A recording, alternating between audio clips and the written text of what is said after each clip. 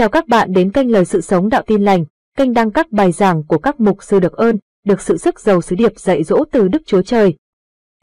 Chúa cha kính yêu chúng con thì giờ này chúng con đến với lời của Ngài. Như lời Ngài nói với chúng con này, lời ngài ta sống không phải chỉ nhờ bánh mà thôi, nhưng nhờ lời nói là từ miệng của Đức Chúa Trời. Và Chúa cũng dạy chúng con này, chúng con có các điều lẽ của Chúa mà vẫn giữ lấy thật là môn đồ của Chúa, nhưng con biết lẽ thật lẽ thật sẽ buông tha chúng con. Thưa cha trong danh của Chúa Giêsu Christ, ngày này con cầu xin Thánh Linh Chúa Trời làm tâm lẽ thật, xin Ngài ở đây với chúng con, xin Ngài dẫn dắt chúng con, xin Ngài làm chủ chúng con, và nguyện Thánh Linh của Chúa Trời Ngài sử dụng chính món miệng của con, chính đời sống của con để làm công cụ của Ngài, hầu nào qua đời sống của con mà chính lời Ngài đem lời của Đức Chúa Trời để truyền sự của Chúa, đem sự giải phóng, đem sự tự do và đem sự mở um, tâm trí để chúng con hiểu lời Chúa một cách mới hơn ở trong lời của Ngài trong một cảm ơn Chúa. Tôi ca trong danh của Chúa Giêsu Christ này chúng con trao đó bây giờ còn con lại trong tay của Thánh Linh và nguyện Thánh Linh của Đức Chúa Trời Ngài dẫn dắt, Ngài tẩy trị, Ngài nhắc nhở cũng như Ngài hướng dẫn chúng con trong một cảm ơn Cha. Chúng con cùng hiệp ý với sự cầu nguyện. Trong danh của Chúa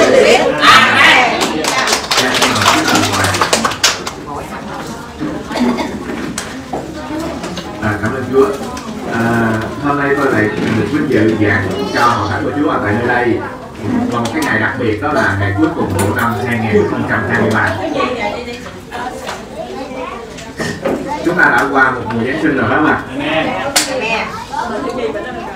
Và trong cái uh, mùa Giáng sinh năm nay đó thì uh, tôi có nhiều cái uh, cái trăn trở về những bài giảng của Giáng sinh đó. Và tôi thấy một điều thế này nè. Tôi thấy có những những phong đoạn kinh thánh nói về sự Giáng sinh đó một năm chỉ giảng được có một lần. Đó không ạ? Một năm chỉ giảng có một lần, nhưng chủ yếu là giảng truyền giảng, không có phân tích để hiểu được nguyên tắc và lẽ thật của Chúa ở bên trong đó. Và chính vì thế mà có những cái lẽ thật, lẽ ra cần phải được giảng ra cho dân sự của Chúa, thì nó bị giấu kín, nó bị chôn vùi ở trong ngày lễ anh chị em chúng ta thử để ý chúng ta xem có phải không ạ? Ngày lễ giáng sinh đi giảng thì một sư nổi tiếng các máy một sư giảng đầy hơn các máy cũng chỉ giảng truyền giảng thôi. Phải không ạ? Nhưng mà những ý nghĩa của, của nó thì lại không được giảng ra. Cho nên ngày hôm nay tôi dùng phân đoạn kinh thánh nói về sự giáng sinh nhưng tôi không giảng về giáng sinh. Mà tôi giảng về một cái một cái nguyên tắc với cái chủ đề đó là nơi Chúa chọn. Amen. chúng ta cùng nhau chúng ta mở ra ở trong sách Luca đoạn 2 chúng ta xem từ câu số 1 cho đến câu số 13 Luca đoạn 2 từ câu 1 cho đến câu 13 Rồi chúng ta đã có chưa?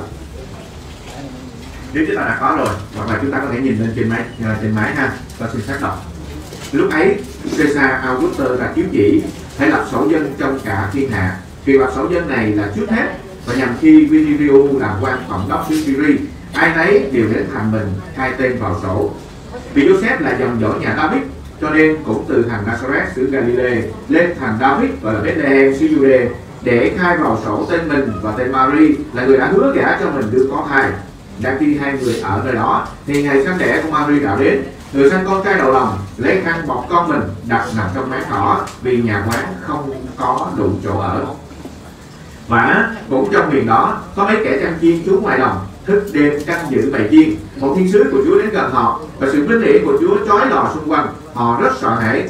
Thiên sứ bèn phán rằng, điều sợ chi? Vì này ta báo cho các ngươi một tin lành sẽ là một sự vui mừng lớn cho muôn dân. Ấy là hôm nay, tại thành David đã sanh cho các ngươi một đấng cứu thế, là Christ, là Chúa.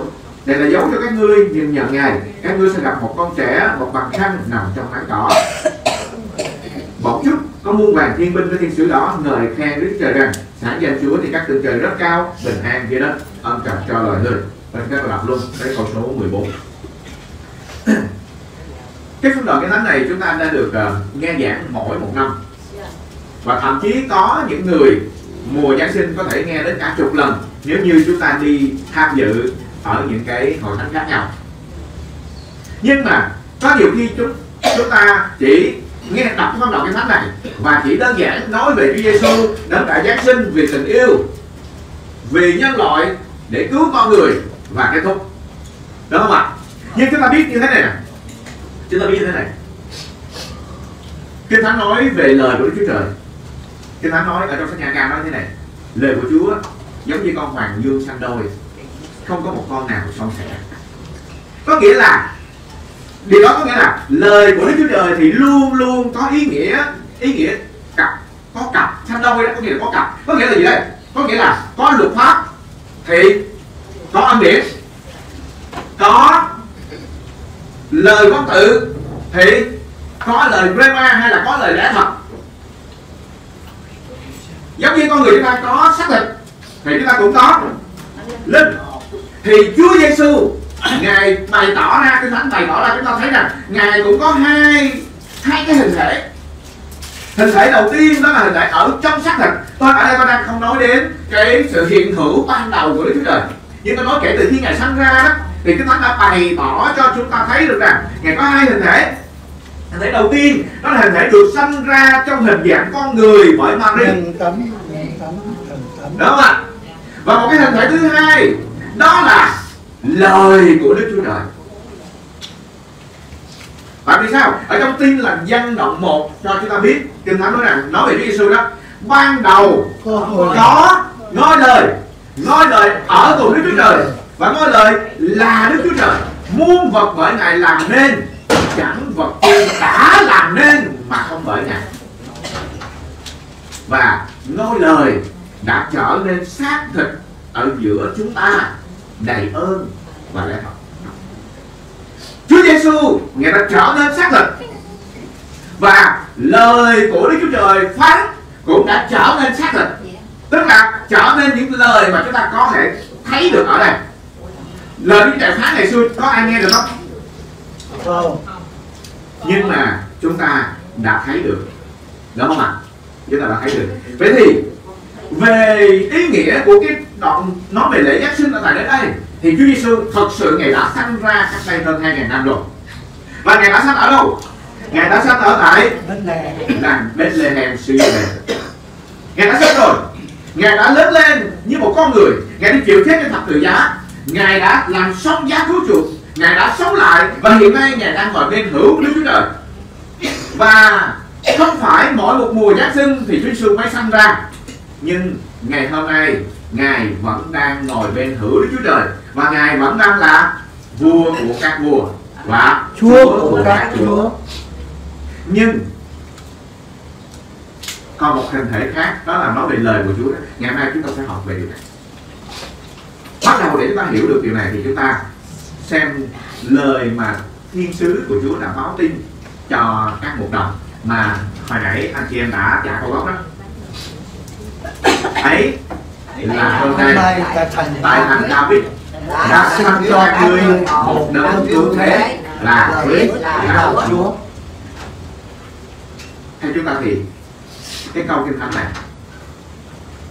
có bao giờ chúng ta để ý đến cái chữ là ấy là hôm nay.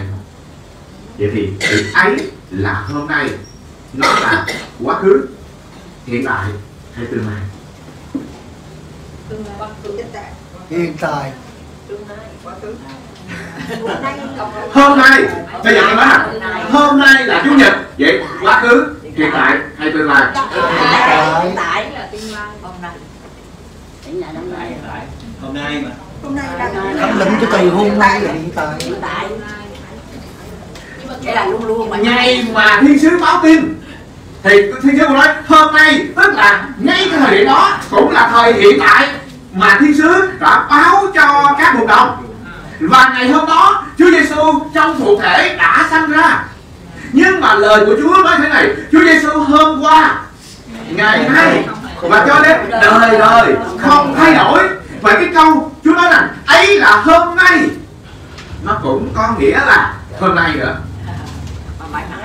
Có nghĩa là hôm nay nữa. Hôm nay đúng không ạ? Hôm nay nhưng mà, ấy là hôm nay, tại thành David. Vậy thì có nghĩa là bây giờ ở ba đã tìm truy sự đang thành ra nữa. Không phải. Không phải. Nhưng mà, chúng ta nhớ là lời của Chúa có nghĩa nghĩa đen và cũng có. Nghĩa bóng.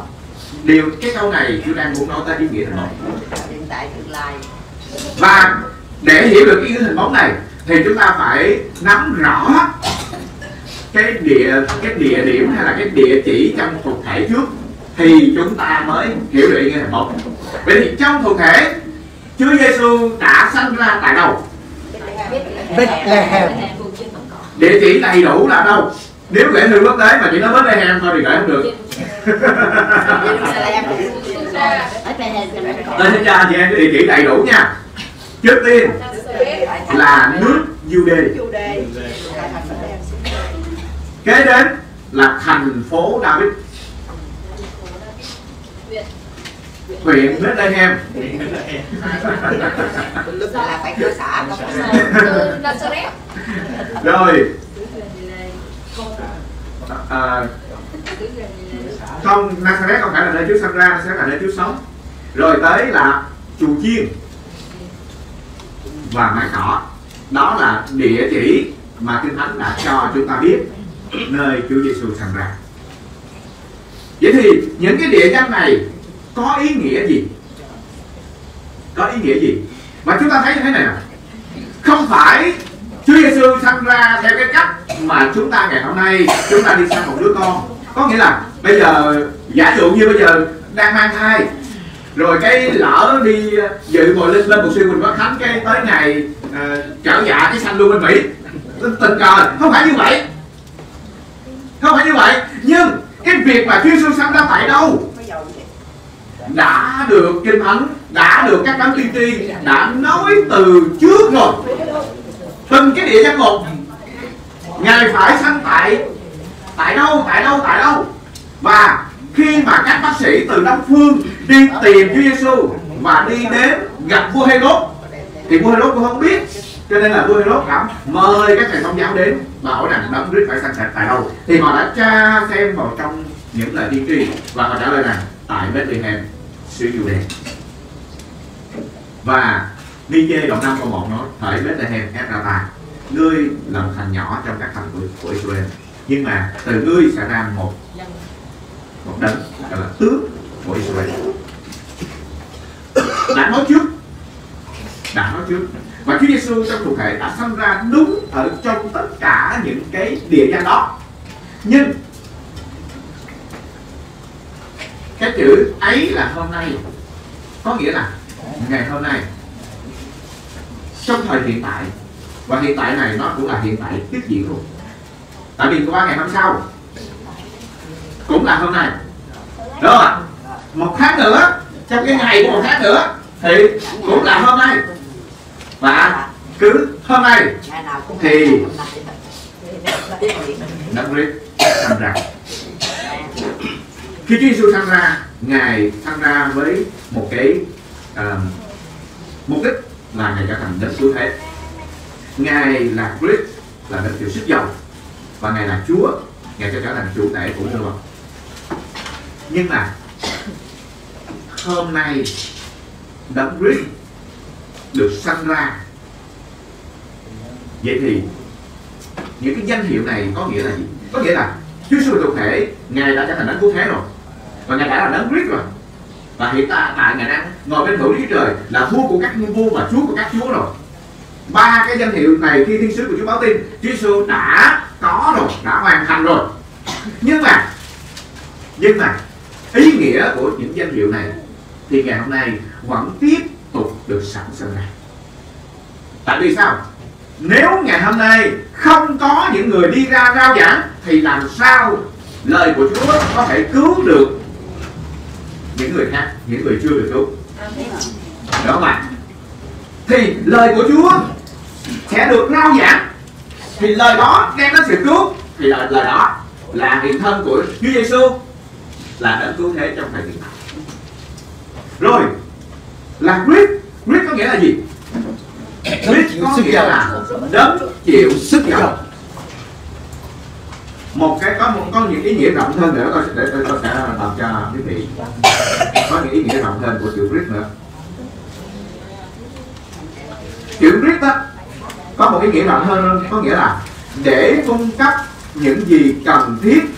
Ví dụ như là đưa ra lời tiên tri hay là bày tỏ âm tứ thì đó là ý nghĩa của chữ Greek là để cung cấp những gì cần thiết.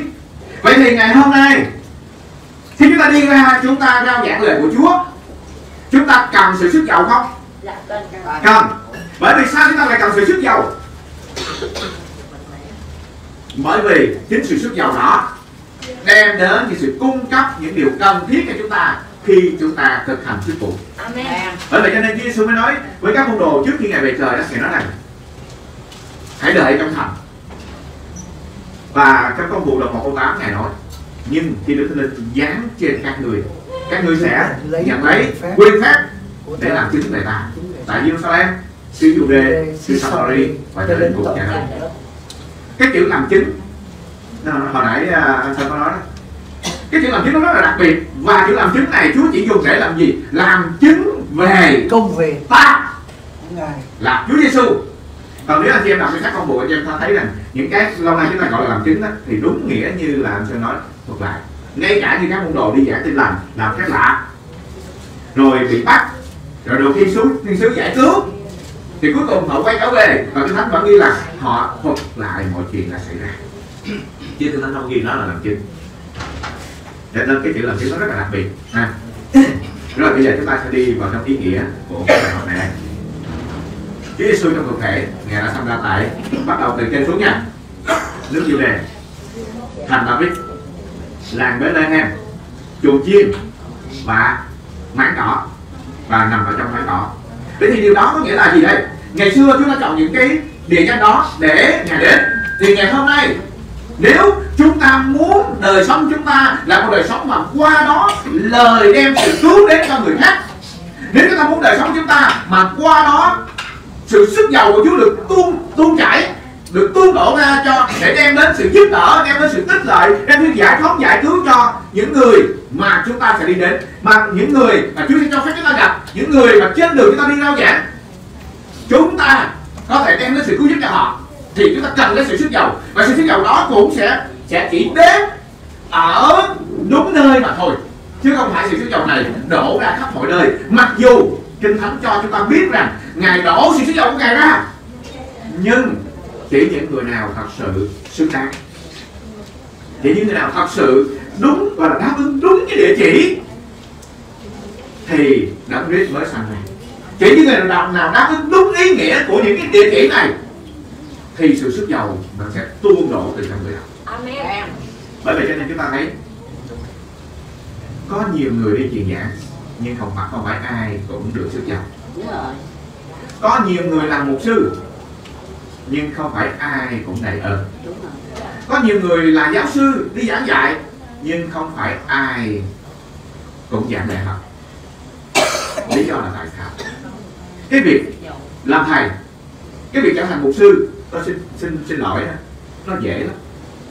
Nếu chúng ta gia nhập vào trong một giáo hội chúng ta chịu học chúng ta chịu khắc phục một thời gian chúng ta có thể trở thành một mục sư. Đúng rồi. nhưng sự sức giàu của một mục sư thì chưa chắc có. Bởi vì giáo hội chỉ cho chúng ta cái chức thôi nhưng giáo hội không thể cho chúng ta sự sức giàu. Chỉ có Chúa mới có thể cho chúng ta sự sức giàu.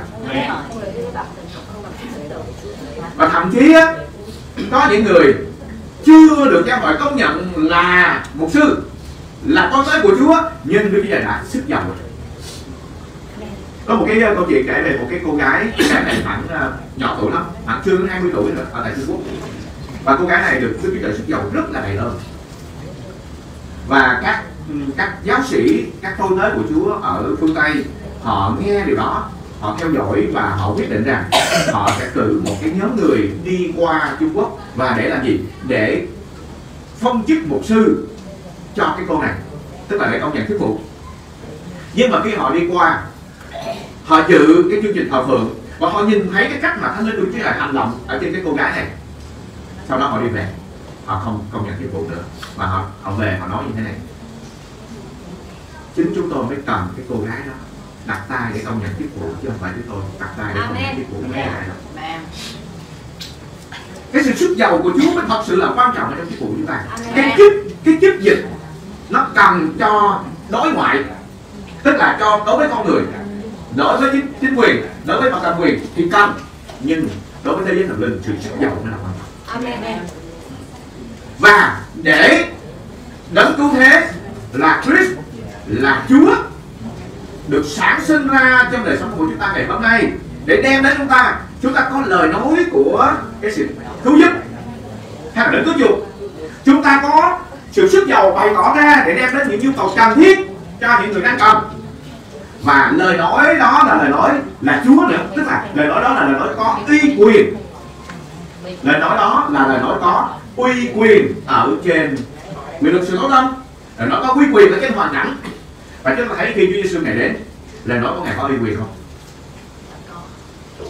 Ngay cả ngày giảng thì dân chúng cũng nói rằng ngày giảng như là có quyền, chứ không phải như các thầy thông giáo. Và ngài có quyền đến nỗi nào? Ngài có quyền đến ở trên thời tiết luôn. Ở trên hoàn cảnh luôn. Ở trên quyền lực sự tối không ngài có quyền ở trên bệnh tật. Ngài có quyền ở trên tất cả. Khi ngài nói chuyện với cơn bão, ngài có quyền với cơn bão và ngài ra lệnh nó rằng, hãy im đi, lặng đi. Thì cái lời này bảo cũng phải vâng phục đó là địa vị của Chúa và nó cũng là địa vị của lời của Chúa. Nếu như ngày hôm nay chúng ta được đấng cứu thế là Christ và là Chúa sẵn sinh ra trong cuộc đời của chúng ta. Vậy thì làm sao để lời được sức giàu của Chúa? Làm sao để lời có uy quyền của Chúa? Làm sao để lời đem đến sự cứu chuộc của Chúa có thể được sinh ra trong đời sống của chúng ta? Thì như ban đầu tôi nói ngài chỉ chọn một địa chỉ thôi. Và địa chỉ đó đi từ, nãy đi từ trên xuống rồi, bây giờ đi từ dưới lên. Giống như là hôm nay, là số nhà rồi ấp rồi xã rồi huyện vậy đó.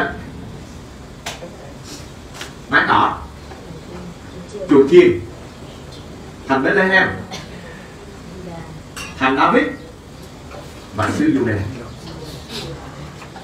vậy thì bây giờ chúng ta sẽ khám phá ra những cái địa danh này, thì chúng ta sẽ biết được rằng làm thế nào để đời sống của chúng ta trở thành nơi mà Chúa ngày sẽ thành ra. Trở thành nơi mà uy quyền của Chúa được bày tỏ trở thành nơi mà sự sức giàu của Chúa được bày tỏ trở thành nơi mà lời đem đến sự cứu giúp được bày tỏ. Trước tiên chúng ta sẽ nói về cái ý nghĩa của xứ Jude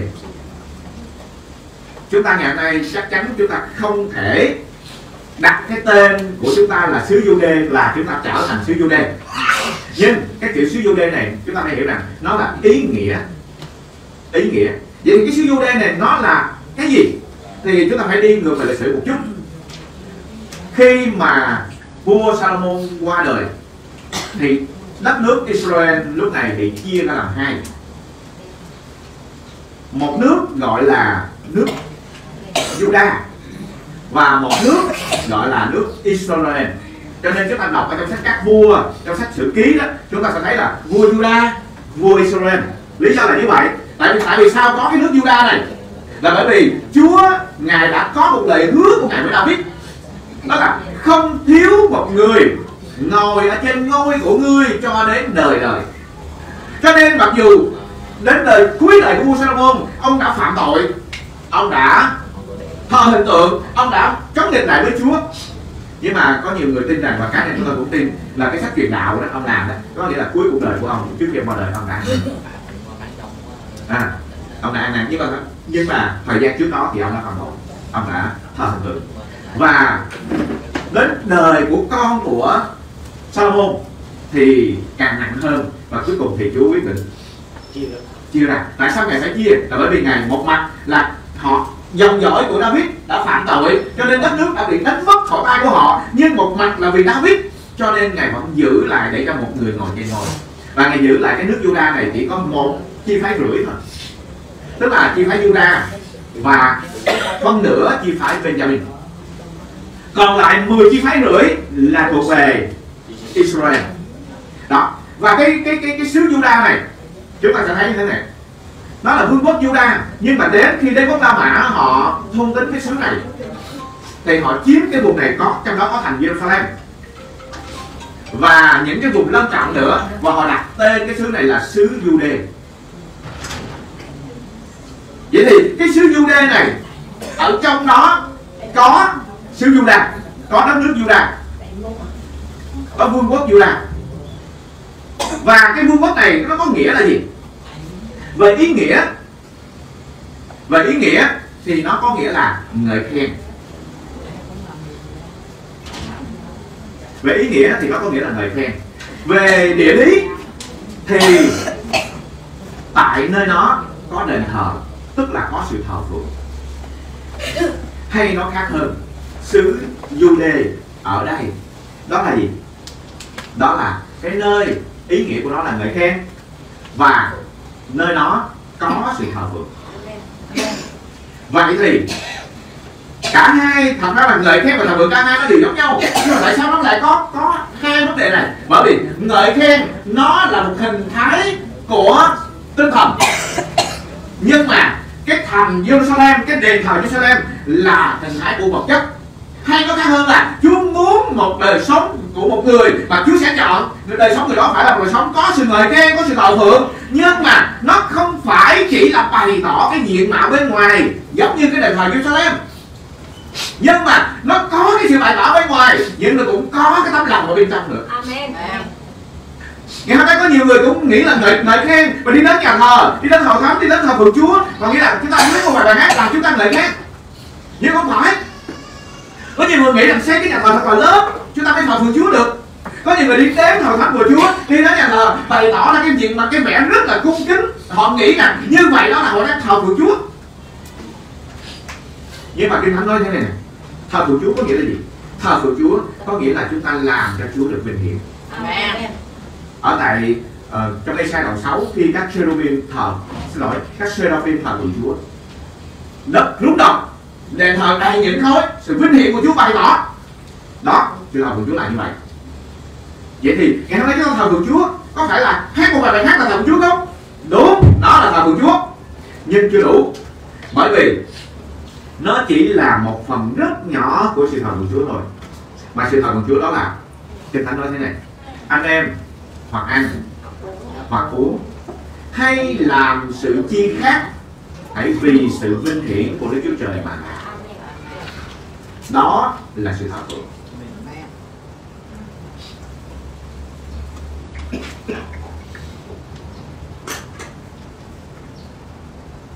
Chứ không phải chỉ hát.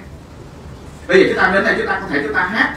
Chúng ta hát suốt một ngày, chúng ta hát suốt một tuần đi. Nhưng mà chúng ta bước ra khỏi cái cái cánh cổng nhà thờ chúng ta sống đời sống mà người ta chê bai.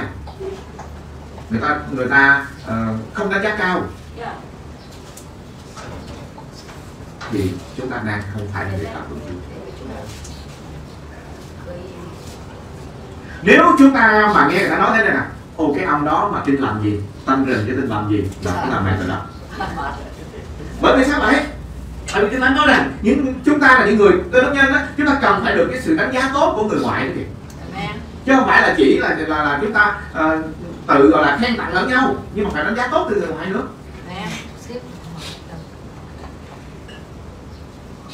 đương nhiên đây là cái mục tiêu mà Chúa muốn chúng ta phải vươn tới. Không có nghĩa là ngày hôm nay chúng ta chưa được như vậy là chúng ta nghĩ là rồi hết hy vọng rồi. Thôi vậy thôi về buông luôn cho rồi đi. Không phải như vậy nhưng mà đây là mục tiêu Chúa muốn chúng ta phải vươn tới. Nếu chúng ta thấy mình chưa được như vậy hãy nhờ cậy Chúa để ta trở nên được như vậy Amen. nếu hôm nay trong lời nói chúng ta chưa có làm vinh hiển Chúa hãy nhờ cậy Chúa để bỏ đi những lời nói chưa làm vinh hiển Chúa mà phải bắt đầu nói những lời nói làm vinh hiển Chúa Amen. nếu lâu nay có những hành vi chúng ta chưa làm vinh hiển Chúa thì bây giờ bắt đầu từ hôm nay hãy thay đổi để những hành vi chúng ta càng ngày nó càng làm vinh vinh hiển Chúa hơn Amen. ví dụ trước đây chúng ta hay cằn nhằn hay làm bầm hay oán trách hay chịu sự cay đắng Ờ, không tha thứ thậm chí tuyên bố. Sống để bụng chết mang theo. Thì ngày hôm nay chúng ta bắt đầu chúng ta thay đổi bằng cách. Tha thứ. Bằng cách tập ngợi khen. Bằng cách tập bỏ đi những lời nói không làm vinh hiển Chúa. Tôi nói thật với anh chị em trước đây tôi cũng là một cái, cái người nói bậy kinh khủng chứ không phải là chứ không phải là bình thường. Nói bậy nói chay nói nói nói chung là người đời làm sao tôi làm vậy người đời làm bậy tôi làm y chang. Nhưng mà khi bắt đầu tôi học được nguyên tắc này bắt đầu tôi tập. Có những cái câu nói nó trở thành cái câu nói quen gọi là câu nói cửa miệng. Bắt đầu tôi tập. Tôi biết lấy ví dụ ví dụ à, cái ví dụ này là mọi người đều đều có đấy đó là ví dụ đó là à, người Việt Nam chúng ta hay nói là à, vui cái chúng ta kèm theo cái chữ gì buồn nó kèm theo chữ gì? Nó biết không? Nhớ không? Dạ à vui muốn chết. Buồn muốn chết. Ngon muốn chết. Cái gì cũng muốn chết hết trơn á. Đó là một cái câu tiêu cực. Và trước đây tôi cũng là người hay nói như vậy. Nhưng bây giờ tôi tập tập tập cái nào? Quyết định trong lòng là bỏ. Quyết định trong lòng là bỏ. Nhưng mà quen miệng mà. Hôm đó vui muốn cái tự nhiên mình nhớ lại. Nhắc cái chuyện chết đi. Bắt đầu thay đổi. Và dần dần thì những cái từ ngữ đó nó biến mất từ từ. Dần dần là khi những cái từ ngữ đó nó chỉ mới vừa hình thành ở trong trong trong lòng thôi là tôi đã loại bỏ nó ra. Nhưng nó phải có thời gian. Nhưng mà vấn đề là chúng ta có quyết định hay không? Chúng ta có quyết định hay không? Đó là sự dù đề tức là một đời sống thờ phượng. Có cả hình thức là có cả tấm lòng. Bởi vì kinh thánh hình thức thì con người thấy nhưng tấm lòng thì Chúa thấy bởi vì thánh nói vì Đức Chúa Trời là thân nên anh thờ lại ngài. Để phải lấy tâm linh và lẽ thật. Mà thờ. Ấy đó là sự thờ phượng mà cha ưa thích. Rồi chúng ta thấy được à, mình à, có được à, là công dân của xứ du lê chưa cố gắng. Cố gắng hết sức mình. Rồi bây giờ chúng ta nói đến thằng David nha. Chúng ta nói đến thằng David lý do tại sao Chúa lại chọn thằng Đức Chúa đã nói về cái lý do ở trong công vụ đoạn 13 câu số 22 công vụ đoạn 13 câu 22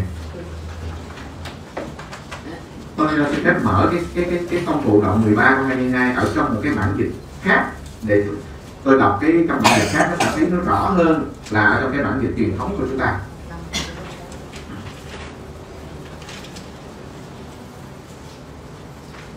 Bạn hiểu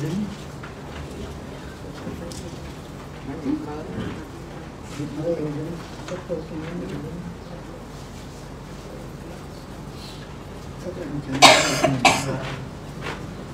anh tôi đọc cái ờ, bản dịch phổ thông. Tôi đọc cái câu này trong bản dịch phổ thông. Sau khi phế bỏ Saul thượng đế chọn David làm vua họ. Ngài nói về David như sau ta đã tìm được trong David, con của Giê-xê, một mẫu người mà ta muốn. Người sẽ làm theo ý ta.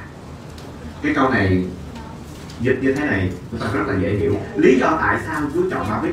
Và khi ta đọc cái câu này, theo cái bản dịch này, chúng ta cũng sẽ thấy rằng nếu Chúa ngài chọn David, thì ngài cũng sẽ chọn chúng ta. Bởi vì sao? Bởi vì ngài chọn David không phải vì David là David mà ngài chọn. Không phải vì David sáng tác nhiều bài hát mà ngài chọn. Không phải vì David có cái cái tài ném đá mà ngài chọn. Không phải vì David đàn hay hát giỏi mà ngài chọn. Nhưng ngài chọn David là bởi vì gì? Bởi vì ngài nói nè, bởi vì ta đã tìm thấy ở trong David một mẫu người mà ta muốn.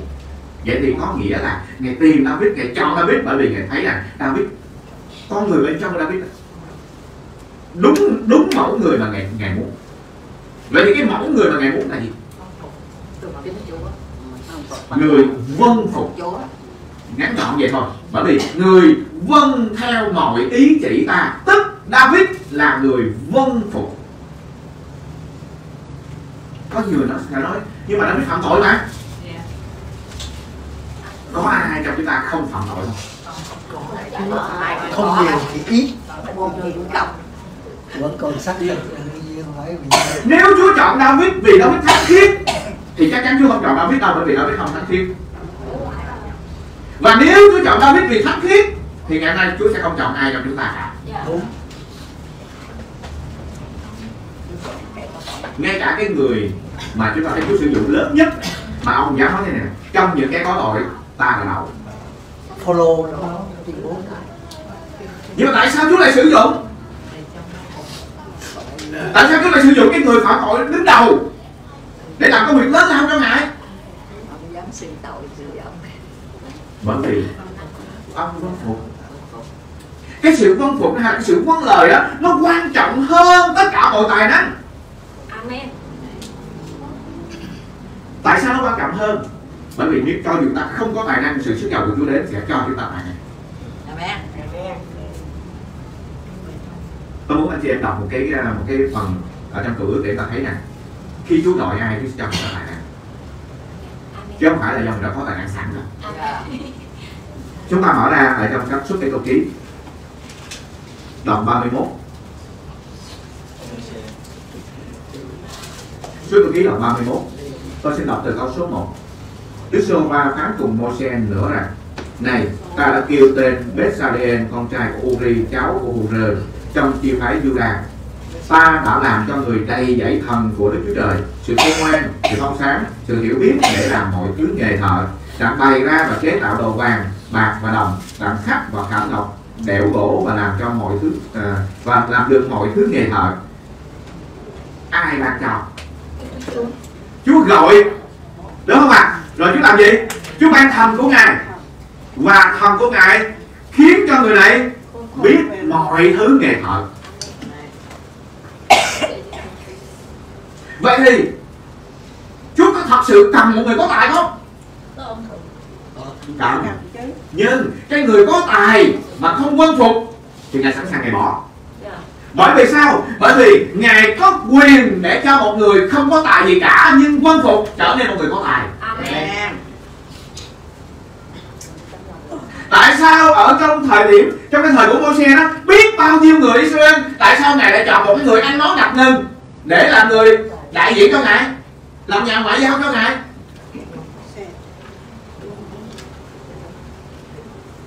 Bởi vì Môi-se là người có cái tính khiêm nhu Môi-se cũng là người quân phục.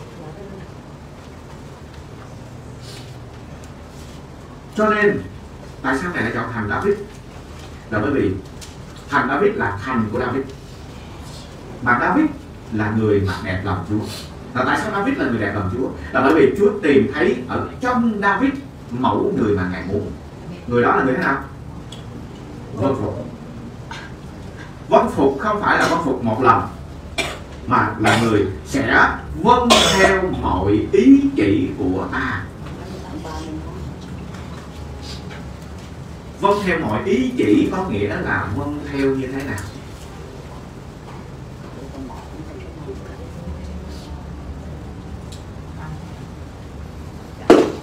Theo ta thì vâng theo mọi ý chỉ có nghĩa là vâng theo như thế nào?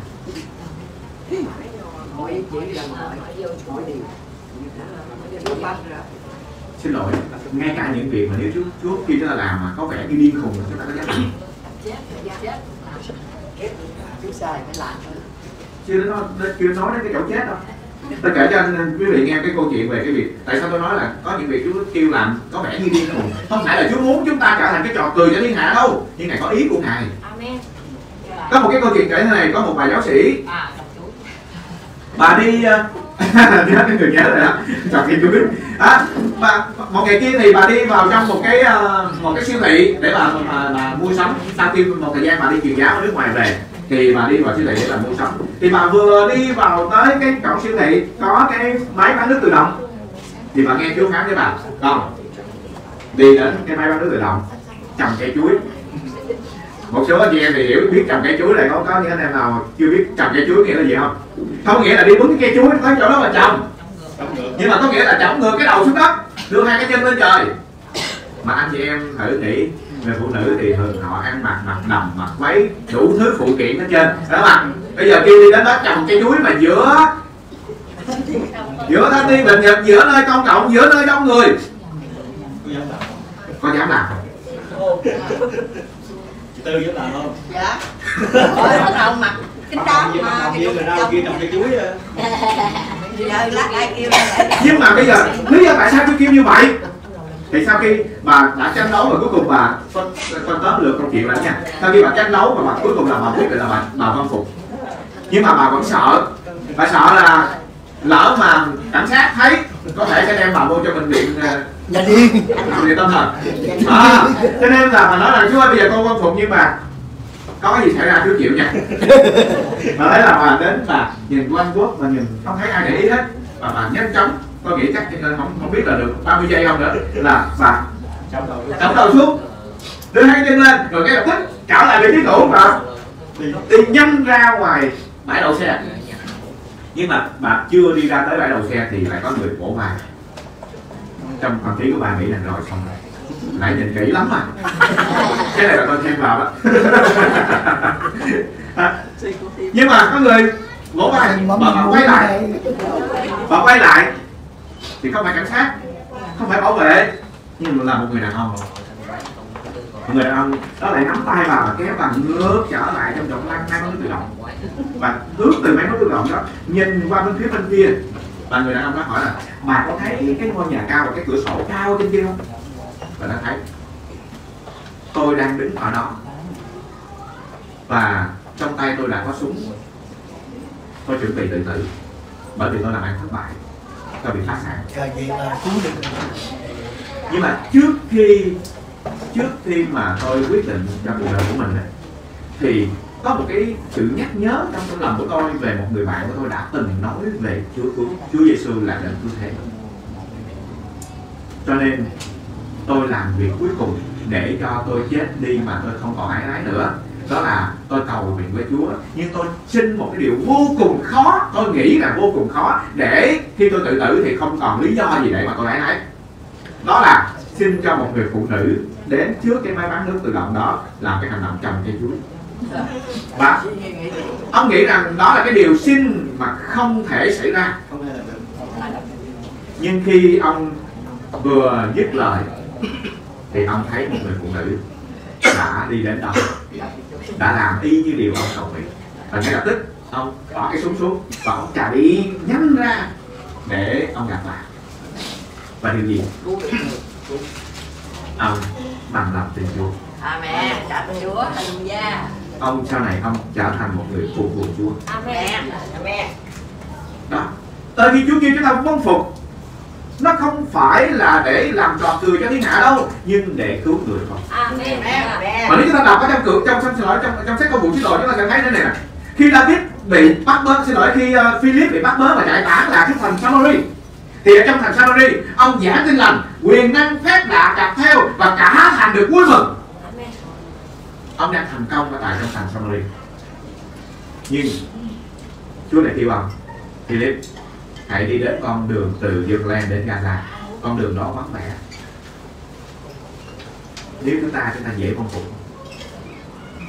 nói như vậy có thể anh chị em chưa chưa hình dung ra, nhưng mà bây giờ thế này. Ví dụ, anh chị em đang là một mục sư của hội thánh 10.000 người. 10.000 người là ít đó tại vì trong cả thành Samari mà. Nếu anh chị em đang là mục sư của một hội thánh 10.000 người, và anh chị em đang được rất là nhiều người yêu mến và anh chị em rất là thành công. Quyền năng phép đã xảy ra, rất là lớn ở tại hội thánh đó nhưng Chúa lại kêu anh chị em, ta muốn con bỏ ở đây và đi đến châu Phi. Anh chị em nghĩ sao? Đó có dân phục đó cái chỗ con phục ở đây nó như vậy đó. Chứ không phải đơn giản là Chúa kêu, bây giờ ta muốn con dân, bữa nay con dân 10 ngàn nha. Cái dạ con quan phục. Tuần sau là dân 15 ngàn nha. Con dân phục. Dân phục nó quá dễ. Dân phục nó quá dễ. Dân phục quần thể là quá vậy. nhưng mà thật ra thì ngay cả những cái dân phục quá dễ đó, đó mà nhiều khi chúng ta chưa sẵn sàng chúng ta có muốn đấng Christ đến trên đời sống chúng ta không? Vậy thì chúng ta phải trở thành David trở thành thành David và thành David là gì? Vâng phục sẵn sàng vâng phục mọi ý chỉ của Chúa. Rồi làng Bethlehem anh, anh chị em ờ, có đi hết được mọi địa chỉ này không? Được. làng Bethlehem. Bethlehem có nghĩa là gì? Bethlehem có nghĩa là nhà bánh. Ồ dường như các ta thấy Ủa chú vô đề dễ hiểu không ạ? Thành David dễ hiểu không ạ? À, Tự nhiên nhảy vô. Bethlehem. Và Bethlehem có nghĩa là nhà bánh là nó dường như nó không liên quan gì tới cái, cái dòng chảy này cả. Nhưng thật ra nó rất là liên quan. Tại bởi vì sao vậy? Bây giờ chúng ta phải hiểu ý nghĩa của cái cái nhà bắn ở trong thực thể Thì chúng ta mới hiểu được cái nhà bắn ở trong cái chỗ này. Nói về cái nhà bắn thôi chúng ta nghĩ rằng ô đó là một cái nhà chứa đầy bắn, Nhưng không phải? Tiếng Việt chúng ta phải dùng là lò bắn. Tiếng Việt chúng ta ở Việt Nam thì phải dùng là lò bắn. Có nghĩa là nơi sản nơi sản xuất bánh. Nhưng mà để trở thành một cái nơi gọi là sản xuất bánh thì cái nơi đó nó cần cái gì để nó có thể trở thành cái nơi sản xuất bánh? Nó phải- chúng ta có mặt bằng rồi. À, chúng ta có nhà cửa rồi nhưng mà để nó trở thành nhà bánh cần phải bước đầu tiên là phải nhập nguyên liệu. Đúng không ạ? Nhập nguyên liệu xong rồi. Phải nghiền à phải nghiền phải nhồi. Phải nướng. Rồi nó mới ra thành bánh. Chúng ta tạm thời cứ nói như vậy thôi cho nên chúng ta không cần phải uh, thêm thêm nhiều chi tiết theo như cái công gọi là công đoạn của của nhà máy bây giờ thì nó sẽ dài dòng lắm. Nhưng mà nó sẽ có những cái gì? Nhập nguyên liệu. Rồi nghiền nhào nước rồi sau đó có là giai đoạn thứ hai và giai đoạn thứ ba là ra thành phẩm chúng ta phải trở thành nhà bánh. Vậy thì nhà bánh trong thuộc thể là như vậy. Vậy nhà bánh ở trong ý nghĩa thuộc linh là gì? Chúng ta là một cơ sở này. Chúng ta muốn trở thành nhà bánh chúng ta phải nhập nguyên liệu. Nguyên liệu này là nguyên liệu thô là lời văn tự. Rồi xong rồi làm gì nữa? Nghiền xay ra suy gẫm suy gẫm là gì nữa khi chúng ta thấy rằng cái nguyên tắc của uh, cái người do thái hay những người làm bánh thì thường họ sẽ sẽ, sẽ nhồi một có dầu dầu là thánh linh. Chúng ta đọc lời Chúa. Chúng ta suy gẫm và chúng ta nhờ thánh linh của Chúa để giúp chúng ta hiểu. Và khi chúng ta hiểu rồi chúng ta nói nó ra trên môi miệng đó là đưa trên lửa. Tại vì cái lưỡi như là lửa. Cái thánh nói như vậy chúng ta nói ra trên miệng nó như là lửa. Thì cái sản phẩm chúng ta nói ra đó nó trở thành bánh. Và chúng ta trở thành nhà bánh. Suốt một năm chúng ta không mở một quyển cái thánh ta đọc một câu nào hết thì làm sao có nguyên liệu để làm bánh? Cái nhiều khi chúng ta nói ôi kinh thánh đọc hoài. Đọc. Ôi sách Luca này đoạn hai này tôi đọc hoài. Đúng đọc hoài. Nhưng mà nó là nguyên liệu. Ví dụ một người một người làm ờ, làm bánh mì đi. Thì họ nhập bột mì đúng không ạ? Đúng không? Đâu thể nào mà họ nói, ôi, bột mì nhập hoài, họ nhập cái khác đi. Rồi để làm bánh mì. Có thể, anh nó ô cái này tôi đọc hoài. Đúng. Ngày hôm nay anh chị em học Luca đoạn 2 này anh chị có thấy khác, những lần khác anh chị em nghe Luca đoạn 2 không? Nguyên liệu thô là phải giống nhau đúng không ạ? Nhưng cái sản phẩm được đưa ra, nó lại tùy thuộc vào trong cái người thợ. Nó tùy thuộc vào trong cái người thợ. Chúng ta thấy đơn giản thôi. Việt Nam chúng ta là có gạo. Nguyên liệu thô chỉ là gạo thôi. Nhưng có thể làm đủ thứ mọi loại bánh, đủ thứ mọi loại hương vị. Một loại nguyên liệu là nếp thôi. Nhưng người miền Bắc thì tạo ra bánh chưng người miền Nam thì làm ra bánh tét. Về hình thức nó giống nhau. Nhưng ăn nó khác nhau bạn nguyên liệu cũng là thịt thôi miền Nam thì là kho trứng miền Bắc thì làm thịt đông. Không biết anh chị em ăn thịt đông thì người tôi không hỏi miền Bắc em hỏi miền Nam nha. Miền Bắc thì biết chắc rồi. Anh chị em miền Nam có ăn thịt đông chưa? Ờ rất là ngon. Thật ra thì khi lần đầu tiên tôi ăn thì tôi tôi tôi, tôi ăn không được tại vì nó nó lạ tại vì cái mỡ nó nó đóng nó đóng lại đó nhưng mà tôi ăn được cái lần đầu đó rồi thì lần sau lại tôi lại thích. Rất là ngon. Bỏ qua cái chuyện thịt đông đi. Tức là cùng một loại nguyên liệu nhưng tùy thuộc vào cái người làm bếp. Cái người thợ làm bánh mà có thể đem ra cái loại bánh thật là ngon nhưng cũng có thể đem ra cái loại bánh thật là dở. Nhưng mà vấn đề Chúa muốn chúng ta phải trở thành nhà bạn, muốn ngon hay không?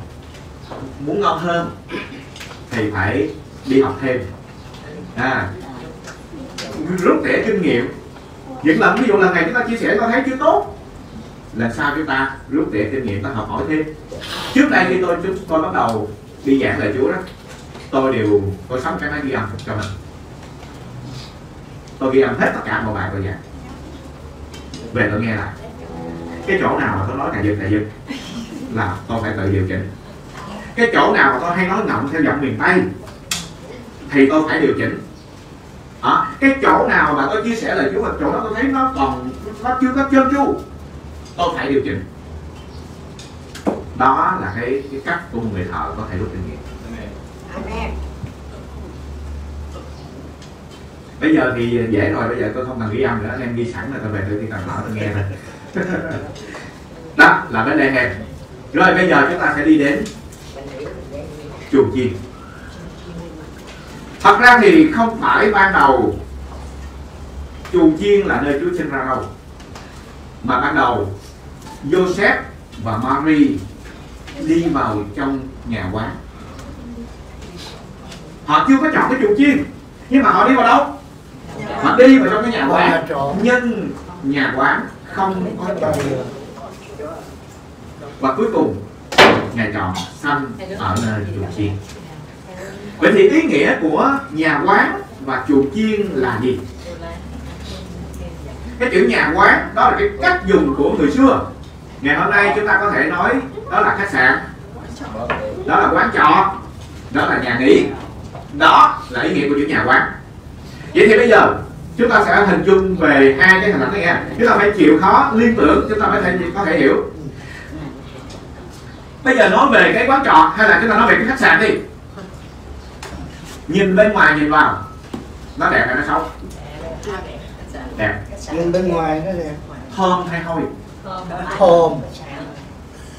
Tiện nghi hay không tiện nghi? Tiện nghi. Khách sạn năm sao nhưng phía sau của tất cả một cái hào nhoáng đó là cái gì nơi nơi rồi ồ bởi vì người ta vào trong đó không phải chỉ để ngủ đó không ạ ta làm đủ thứ chuyện ô uế ở trong đó mặc dù bên ngoài nó là thế nào nó đẹp nhưng ở bên trong nó là ô uế còn cái chuồng chiên bên ngoài nó như thế nào? Bên trong nó y vậy. Ở bên trong nó có cái mùi gì? Mùi thì cách xa hàng cây số người ta đã phát hiện ra nó rồi. Vậy thì đó là gì đây? Thật ra nhà quán và chuồng chiên là ý nghĩa hình bóng để chỉ về hai tấm lòng. Nhà quán cũng ô uế mà chuồng chiên cũng dơ giấy không có ông nào hơn ông nào. Có nghĩa là ngày hôm nay mọi tấm lòng đứng trước mặt chúa đều là ô uế cả đều là tội lỗi không một ai chúng ta lại gọi là xứng đáng đâu. Nhưng tại sao ngài lại sống ở trong chuồng chiên? Là bởi vì chuồng chiên là một tấm lòng chân thật. Đời sống của họ như thế nào họ sẵn sàng họ xưng ra thế ấy. Nhưng tại sao nhà quán lại không có chỗ cho ngài? Là bởi vì nhà quán là hình bóng của một tấm lòng giả hình. Sống giờ. Bề ngoài khác. Bên trong. Bề trong. Khác amen và đương nhiên những người sống giả hình họ không có dành cái chỗ cho Chúa đâu. Bởi vì khi Chúa vào ngài sẽ lật đổ hết. Chúng ta nhớ cái cái câu chuyện về Chúa vào trong lần lần thời Jerusalem ngài vào ngài sẽ lật đổ hết tất cả những gì mà không đẹp lòng của Chúa cho nên những cái tấm lòng những con người có cái tấm lòng giả hình đó ngài sẽ lên án. Chúng ta nhớ từ Giăng Báp Tít cho đến Chúa Giêsu đều lên án những người giả hình. Giăng Báp Tít thì gọi những người giả hình là dòng dõi gắt luật. Chúng ta biết tại sao gọi là dòng dõi gắt luật? Nó là như thế này. Thật ra gắn luật là nói về sự giả hình. Bởi vì sao? Bởi vì cái màu của nó bên ngoài nó rất là đẹp với lại màu của môi trường xung quanh. Cho nên người ta rất là khó để phát hiện ra nó nhưng, môi trường xung quanh, ví dụ như môi trường lá cây, cái màu xanh nó nó hoàn toàn nó lành tính. Nó hoàn toàn nó tốt. Nó hoàn toàn ít lại cho con người, khiến cho con người dễ chịu. Nhưng cái màu xanh của con rắn đó, nó lại ẩn ở bên trong là cái sự chết chóc. Cho nên, nhân pháp tích ông gọi những người dòng dòng Pharisee là dòng dõi rắn lục, tức là nói về sự giả hình. Chúa Giêsu thì ngài nói rằng, thầy thông giáo người Pharisee là một giả hình. Chúa không muốn chúng ta như vậy không Chúa không muốn chúng ta như cái mã tô môi trắng bên ngoài nhưng bên trong thì lại xương tốt người chết và hai vị vua đầu tiên của Israel là hai hình bóng của hai tấm lòng này. Vua Saul là hình bóng của nhà quan vua David là hình bóng của chuồng chiên vua Saul ông có phạm tội không? Có. Có. Nhưng cái cách tô bên tô vẽ bên ngoài của ông đó rất đẹp. Ông đi đánh dân Amalek ông đem ông đem chiên đem bò về. Ông nói đem về cho ai? Cho Chúa. Được không ạ? Khi ông khi ông đứng lên cái chỗ của Samuel để ông dâng cái lễ đó ông nói vì ai mà ông dâng? Vì Chúa mà ông dâng. Vì dân sự của Chúa mà ông dâng. Chứ thật ra là vì ông hết. Đó. Vua Saul là bóng của người đàn David là hình bóng của người của chuồng chiên David có phạm tội. Khi David bị cáo trách David làm gì? Ăn năn ăn năn cách công khai. Không giấu giếm không sợ bị mất mặt. Cho đó? Những gì bên trong bày tỏ ra bên ngoài. Và nếu chúng ta là chuồng chiên Đấng Christ sẽ sẵn ra ở trong chúng ta. Có nghĩa là chúng ta cứ thành thật thành thật ở đây không có nghĩa là bây giờ ví dụ như ngày hôm nay chúng ta phạm tội cái chúng ta đi đến hội thánh chúng ta gặp bất kỳ ai trong các tay rồi à, bữa, bữa nay tôi tôi có phạm tội vậy đó. Cái bữa nay tôi phạm tội vậy đó. À, bữa nay tôi phạm tội vậy đó. Không phải thành thật vậy là như vậy. Cái đó là thu dạy không phải là thành thật. Tại vì cái đó tự mình đưa cho đưa mình cho người ta để người ta coi thường mình. Nhưng nếu chúng ta chắc chúng ta đừng có chối. Đừng có chối. Đừng có bao biện đừng có đừng có biện luận gì cả. Chúng ta thấy thế này như nãy tôi nói, tại sao Paulo nói là trong những kẻ có tội tôi là đầu? Thật ra đó, Paulo, khi ông đi thi hành chức vụ, ông cũng bị lên án nhiều không bởi vì sao vậy? Ông lên án từ đâu? Ông lên án từ cái hôn nhân của ông. Có nhiều người chúng, có lẽ chúng ta chưa biết là Paulo có vợ phải không. Paulo có vợ nhưng mà khi ông khi ông bước theo Chúa Giêsu thì cha vợ của ông vốn là người Pharisee không đồng ý điều đó.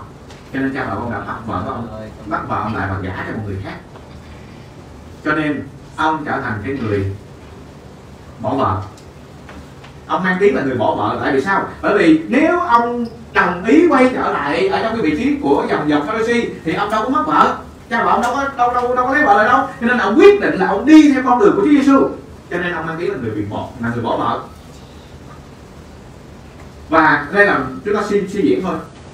Và rất là có thể trong xã hội đó là xã hội nặng về luật pháp của Moses người ta sẽ lên án Paulo rất nhiều. Cho nên ông nói rằng trong những kẻ có tội tôi là đầu ông nói vậy để làm gì? Bây giờ anh chị em thử suy nghĩ một người một người cứ muốn kết tội cho em là chị em cứ kết tội là chị em nhận kết tội cho em nhận có ai kết tội nữa không? Không nhận tội không không ai nhận. trong những kẻ có tội tôi là đầu rồi tôi đứng đầu rồi anh em khỏi cần phải kiện cáo gì nữa đó là nhận tội rồi không nếu tôi nhận số 2 anh chị em nói là như vậy là không được. Còn mày còn nặng hơn ông kia. Nhưng mà trong những cái có tội tôi là đầu rồi xong khỏi kiện cáo nữa. Cho nên ở đây chúng ta thấy rằng Chúa ngày muốn chúng ta có tấm lòng đừng che giấu chúng ta nhớ Chúa nói thế nào? Người nào giấu tội lỗi mình thì không được may mắn. Nhưng ai xưng nó ra và lìa bỏ nó thì được thường sống. Trong tân ước thì nói rằng kẻ có tội hãy lau tay mình. Và ai có hai lòng thì phải làm sạch mình đi Amen hai lòng đó là hình ảnh hình ảnh của người cha hết rồi bây giờ tới máng cỏ. Cái máng cỏ này đơn giản lắm. Máng cỏ này thật ra nó là cái nơi đựng thức ăn cho con chim. Hay nó khác hơn là nó là nguồn cung cấp thức ăn cho những con chim ở trong cái chuồng đó. Nhưng khi Chúa sanh ra Chúa đã nằm ở trong cái máng cỏ đó. Vậy thì có nghĩa là những con chiên này nó còn cái chỗ để nó ăn không? Không Chúa làm rồi Chúa làm rồi nó còn chỗ để ăn. Ở đây đang muốn nói tới một cái ý nghĩa này rất là đặc biệt. Nó dễ mà nó khó nó khó mà nó dễ. Đó là nếu Chúa cần dùng thậm chí cái điều Chúa cần dùng ở đây anh em nó là cái nguồn cung cấp sự sống của anh em. Anh em sẵn sàng dâng cho Chúa để Chúa dùng không đó là ý nghĩa của mắt họ một vài cái ví, một vài cái ví dụ nhẹ thôi nha. Ví dụ nha, chúng ta đang có một cái ngôi nhà và chúng ta à, chúng ta cho thuê 50 triệu một tháng. Nhưng bây giờ Chúa cần cái nhà đó để làm cái nơi thờ phượng Chúa. Có nghĩa là không thể trong đây nữa. Để, để chấp nhận để cho Chúa hiện diện Chúa sử dụng thì có nghĩa là mất cái nguồn cung cấp sự sống. Chúng ta có sẵn sàng hay không? Đó là ý nghĩa của mang họ. Nghe thì đơn giản vậy đó nhưng mà chúng ta đối diện với sự thật. Đôi khi chúng ta không dễ để chúng ta trao cái máng cỏ của chúng ta cho Chúa nằm đâu nếu chúng ta đang có một công việc ổn định mà nếu Chúa muốn chúng ta Chúa Chúa, Chúa muốn ta phải dừng cái công việc đó để chúng ta phục vụ Chúa chúng ta có sẵn sàng không?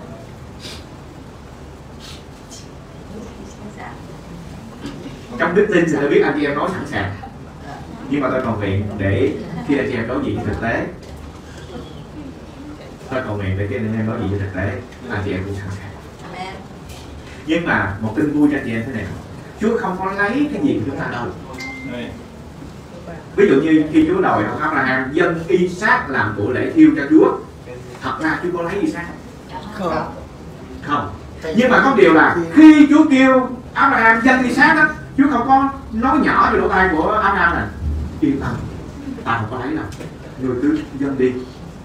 Người vừa chuẩn bị vừa chuẩn bị giết con ngươi là ta ta sai đi giết ta dừng lại liền Chúa Chúa có nói cho Abraham cái bệnh đó không? Không. Không. Nhưng mà Chúa chỉ nói là hãy đem đứa con một ngươi yêu dấu. Làm của lễ thiêu cho ta tại một hòn núi kia mà ta sẽ chỉ cho. Chậm dứt. Đúng. Ngày hôm nay nhiều khi Chúa cũng muốn chúng ta ta muốn con phải dâng cái này ta muốn con phải hy sinh cái kia ta muốn con phải làm cái nọ. Dừng lại chỗ đó Chúa sẽ không có một lời hứa phía sau đâu. Dám làm. Chúng ta có dám làm. Mà nếu chúng ta dám làm tức là chúng ta đang chào cái máng cỏ này Chúa làm vậy thì ta nhận lại được cái gì? Abraham nhận lại được cái gì? Nhận lại được đứa- con của mình. Isaac không chết. Nhận thêm một con chiên chim chim chim để làm của lễ thiêu thế cho Isaac và nhận thêm một cái điều nữa. Đó là con một của Chúa Trời. Được ban xuống thế gian cho dòng dõi của Abraham Amen. Tôi muốn anh chị em hiểu thế này.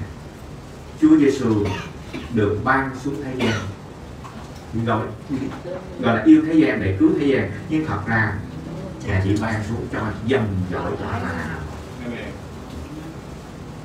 theo lời đoạn 2 câu 16 Ngài đến không phải vua giúp các thiên sứ bèn là vua giúp dòng dõi của Abraham và đó là lý do tại sao ngày hôm nay chúng ta tin nhận Chúa Giêsu chúng ta được gọi là con cháu của Abraham nếu chúng ta không là con cháu Abraham chúng ta không nhận được lời hứa và giao ước của Chúa. Rồi vậy thì nếu chúng ta Chúa đòi hỏi chúng ta dám dâng cho Ngài dám hy sinh cho Ngài chúng ta nhận lại được gì? Chúng ta thấy thế này Chúa Giêsu nằm ở trên cái mái cỏ. Ở đây chúng ta phải liên tưởng đó nha. Tại vì chúng ta tôi không có hình ảnh để tôi có minh chứng cho anh em thấy nhưng mà ta phải liên tưởng. Chúa Giêsu đang nằm ở trên cái mái cỏ. Có nghĩa là về một ý nghĩa là các con chiên không còn đồ ăn. Các con chiên phải chịu đói các chiên phải chịu hy sinh. Nhưng về một ý nghĩa khác. Chúa Giêsu lại trở thành đồ ăn cho toàn thể đây cho toàn nhân loại tức là văn đoạn 6 nói ta thịt ta thật là đồ ăn huyết ta thật là đồ uống. Nếu ai không ăn thịt ta và không uống huyết ta thì không được sự sống đời đời vậy có nghĩa là gì? Có nghĩa là nếu chúng ta dám trở thành máng cỏ tức là chúng ta dám hy sinh cho Chúa dám tặng hiến cho Chúa ngay cả đó là những gì gọi là nguồn sống của chúng ta. Thì ngài sẽ trở thành nguồn cung cấp mọi thứ cho chúng ta. Ngài trở thành nguồn sống cho chúng ta. Cho nên Chúa Giêsu chỉ thành ra ở tại xứ Giu-đê thành David làng Bethlehem chùa chiên và mảng thọ. Và nếu ngày hôm nay tấm lòng chúng ta trở nên như vậy chắc chắn Chúa sẽ sử dụng chúng ta chắc chắn lời sự sức giàu của Chúa sự sức giàu của Chúa sẽ đến ở trên đời sống của chúng ta. Chắc chắn Chúa sẽ sử dụng chúng ta một cách lớn lao Amen. và chắc chắn chắc chắn chúng ta Chúa sẽ khiến chúng ta trở thành nguồn để có thể đem đến sự phước hạnh cho mọi người. Xin Chúa ban phước cho chúng ta Amen.